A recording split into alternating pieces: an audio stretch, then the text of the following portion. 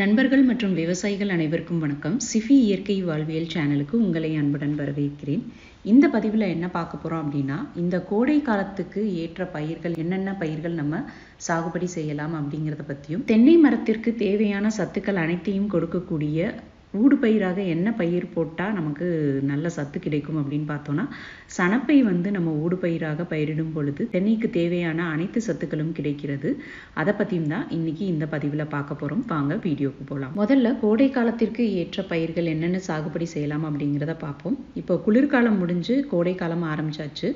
மார்ச்லேருந்து நம்ம ஜூன் வரைக்குமான இந்த கோடை காலத்தில் என்ன மாதிரி பயிர்கள் பயிரிட்டால் விவசாயிகள் நல்ல லாபம் ஈட்ட முடியும் அப்படிங்கிறத நம்ம ஒவ்வொன்றா பார்த்துருவோம். பொதுவாக சாகுபடிக்கான சீசன் அப்படின்னு சொன்னோம்னா காரிஃப் ரபி கோடை பயிர்கள் இந்த மாதிரி ஒரு மூன்று வகையாக பிரிக்கலாம். பொதுவாக விவசாயிகள் மத்தியில் மட்டும் இல்லாமல் வேளாண் துறையே என்ன சொல்லுது அப்படின்னு பார்த்தோம்னா இந்த கோடை காலத்திற்கு ஏற்ற பயிர்களாக ஹைபிரிட் காய்கறிகளை வந்து பயிரிடுவது விவசாயிகளுக்கு நல்லது அப்படின்னு சொல்லி சொல்லியிருக்கிறாங்க. இது தவிர இப்போ இயற்கை விவசாயத்திலேயே இந்த ஹைபிரிட் காய்கறிகளையும் பண்ணலாமா அப்படின்னு நீங்கள் கேட்கலாம். தாராளமாக பண்ணலாம்.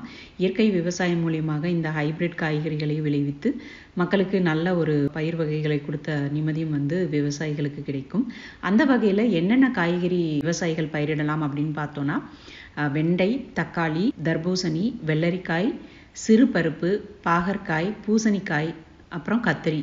இந்த மாதிரி பயிர்களை கோடை காலத்துல தாராளமாக விவசாயிகள் வந்து பயிரிடலாம். இந்த கோடை காலத்துலன்னு பார்த்துக்கிட்டோம்னா அதாவது காய்கறிகள் தவிர்த்து கலப்பு தானியங்களும் வந்து நம்ம பிரதானமாக பயிரிடுவது சாலச்சிறந்தது அந்த மாதிரி தானியங்கள் அப்படின்னு எடுத்துக்கிட்டோம்னா எள் வந்து சித்திரை மாதம் நம்ம வந்து பயிரிடலாம். அதே போல கம்பு கம்பு சொல்லுவோம் இல்லையா அது வந்து பங்குனி மாதத்துல நம்ம பயிரிடலாம். நாட்டு சோளமானது சித்திரை மாதத்துல பயிரிடலாம். அடுத்ததான் நம்ம தென்னை மரத்துக்கு ஊடு பயிரா என்ன போடலாம் அப்படிங்கிறத பார்த்தோம் இல்லையா அந்த தென்னை மரமானது எப்போ நம்ம சாகுபடி அதாவது பயிரிட ஆரம்பிக்கலாம் அப்படின்னு பார்த்தோம்னா ஆடி மாதம் தொடங்கி ஆடி ஆணி இந்த மாதிரி இருக்கக்கூடிய ஜூனுக்கு அப்புறம் நம்ம வந்து பயிரிட ஆரம்பிக்கலாம். இது தவிர நம்ம ஆண்டு முழுவதும் பயிரிடக்கூடிய சில பயிர் வகைகளும் இருக்கிறது. அது என்னெல்லாம் அப்படின்னு பார்த்தோம்னா ஆமணக்கு தக்காளி தட்டப்பயிறு மக்காச்சோளம் பட்டு வளர்ப்பு போன்ற வகைகளை வந்து நம்ம ஆண்டு முழுவதும் பயிரிடலாம். இதுக்கு வந்து இந்த சீசன் தான் அப்படின்றது மாதிரி எல்லாம் கிடையாது. ஸோ இது போன்ற பயிர் வகைகளை வந்து விவசாயிகள் பயிரிட்டு நல்ல லாபம் ஈட்டுமாறு உங்களை அன்புடன் கேட்டுக்கொள்கிறேன். இந்த கோடை காலத்து பயிர்களானது விவசாயிகளுக்கு மட்டும் இல்லைங்க மாடித்தோட்டம் போடணும்னு நினைக்கக்கூடிய பெண்களுக்கும் இந்த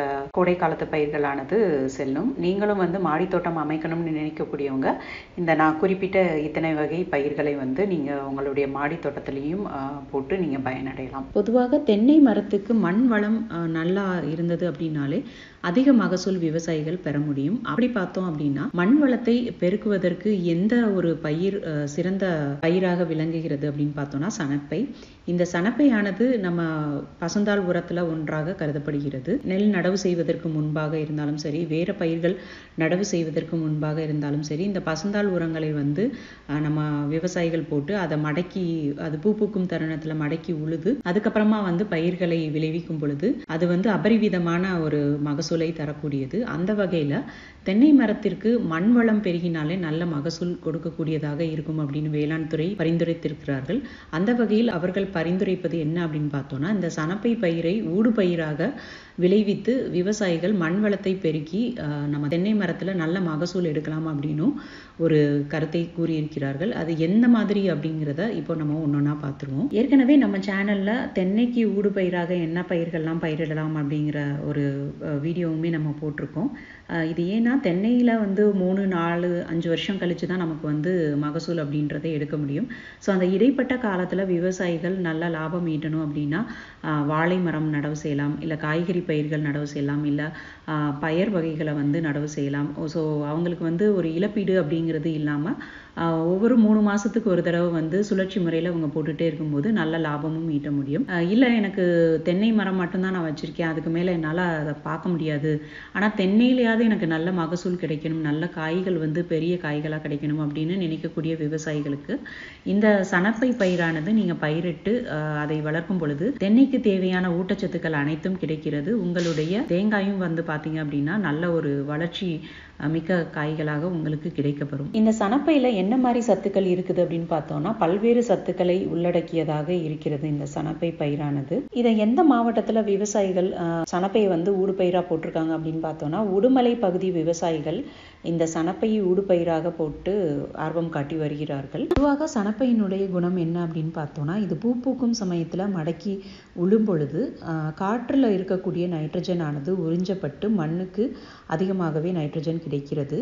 இந்த செடி வந்து மக்கி மண்ணோட கலந்து விடும் பொழுது கரிம கனிம சத்துக்கள் வந்து அதிகமாகவே கிடைக்கிறது. அது தவிர மண்ணில் என்ன நடக்குது அப்படின்னா நன்மை செய்யக்கூடிய பாக்டீரியாக்களினுடைய எண்ணிக்கையும் இது வந்து அதிகரிக்க செய்கிறது. இது பொதுவாகவே பசந்தாள் உரத்தினுடைய ஆக்ஷன் அப்படின்னே நம்ம சொல்லலாம். இது தவிர நம்ம மண்ணில் இருக்கக்கூடிய நீர் உறிஞ்சும் திறனை வந்து அதிகரித்து நல்ல மகசூலை தரக்கூடியதாகவும் இருக்கிறது. இது மட்டும் இல்லைங்க நன்மை செய்யக்கூடிய பூச்சிகள் வந்து பாதுகாக்கப்படுவதால் உரம் அப்புறம் பூச்சி மருந்துகள் தெளிப்பதற்கான செலவும் வந்து விவசாயிகளுக்கு குறைகிறது. ஸோ தென்னையில் வந்து இது ஊடு பயிராக போடலாம் அப்படின்னு சொல்லிட்டோம். எவ்வளவு தேவைப்படும் ஒரு ஏக்கருக்கு அப்படின்னு பார்த்தோன்னா இருபது கிலோ அளவுக்கு வந்து சனப்பு விதைகளை விவசாயிகள் விதைக்கலாம்.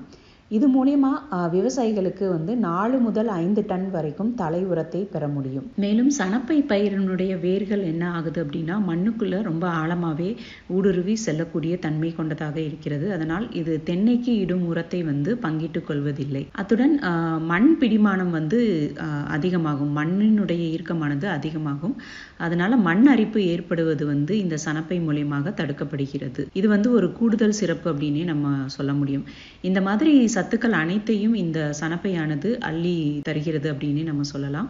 இது தவிர்த்து பல்வேறு நன்மைகளையும் செய்யக்கூடியதாக இந்த சனப்பை பயிரானது இருக்கிறது. நம்ம எப்போ வந்து பயிரிடலாம் அப்படின்னு பார்த்தோம்னா சாகுபடிக்கு சுமார் ஐம்பது நாட்களுக்கு முன் பயிரிடுவதன் மூலமாக மண் வளத்தை நம்மளால மேம்படுத்தி நல்ல மகசூல் தென்னை மரத்துல வந்து விவசாயிகள் பெறலாம் அப்படிங்கிற கருத்தையும் வந்து தெரிவித்திருக்கிறார்கள். ஸோ இதை பார்க்கக்கூடிய நண்பர்கள் மற்றும் விவசாயிகள் ஒருவேளை நீங்கள் வந்து தென்னை மரம் வைத்து வைத்திருந்தீர்களானால் இந்த இந்த சனப்பையை வந்து ஊடுபயிராக பயிரிட்டு நீங்கள் மண் வளத்தை அதிகரிக்க முடியும். இதன் மூலியமாக நல்ல மகசூலையும் பெற முடியும். நல்ல திரட்சியான காய்களும் உங்களுக்கு கிடைக்கும். இதன் மூலியமாக உங்களுக்கு மார்க்கெட்டில் நல்ல ஒரு விலையும் கிடைப்பதற்கு ஏதுவாக இருக்கும்.